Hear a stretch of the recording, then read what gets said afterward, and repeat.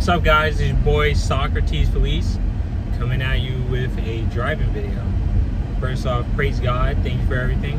Blessing me, blessing my family, and blessing everyone. And today I just want to talk about, uh, yesterday was funny.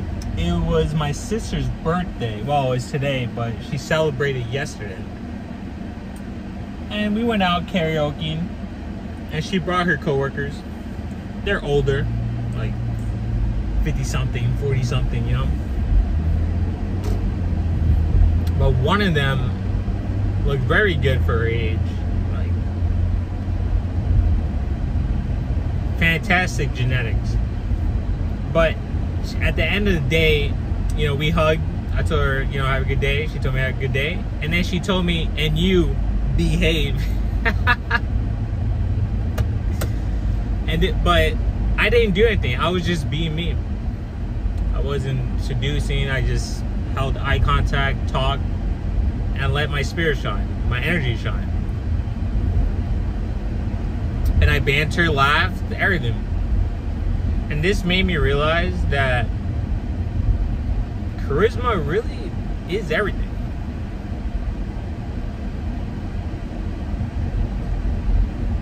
If you have that charismatic personality, let it shine. People get backstab you, just move out their way. Like, all right, cool. I'm vulnerable, so I can grow.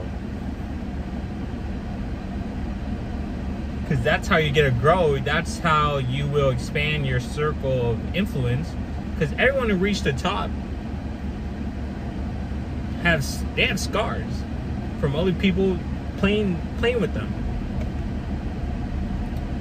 Traders, women playing games, life, rejection, etc. But you have to, but they grew to the person they are, and they kept achieving things, and they, but they still kept their charisma. A majority of them, look at Drake, still charismatic, funny as hell too. He's a goober. Everyone thinks he's a goober, but that's still Drake. I'm sure he was like that back then too. And that's just what we see. We don't see behind the scenes.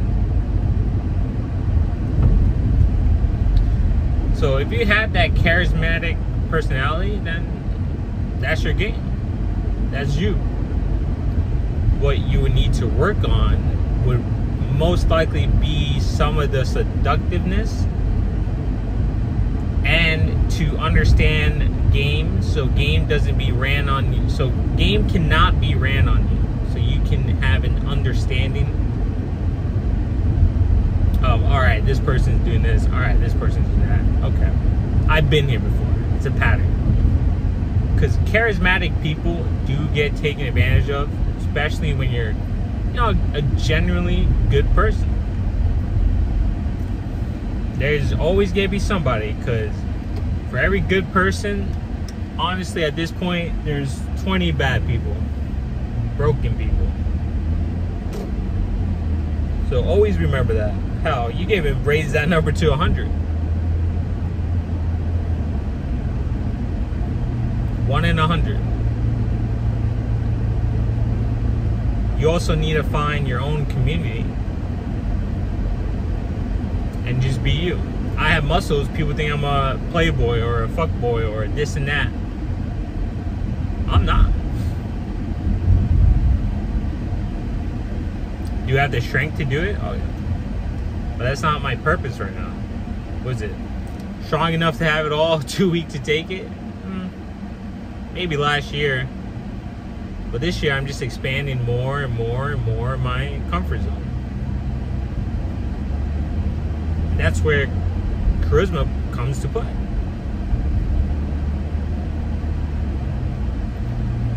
Somebody needs that bright light out there. If you're able to attract that, or be that light and attract them, then deal with them. So yeah. So you guys have a good day.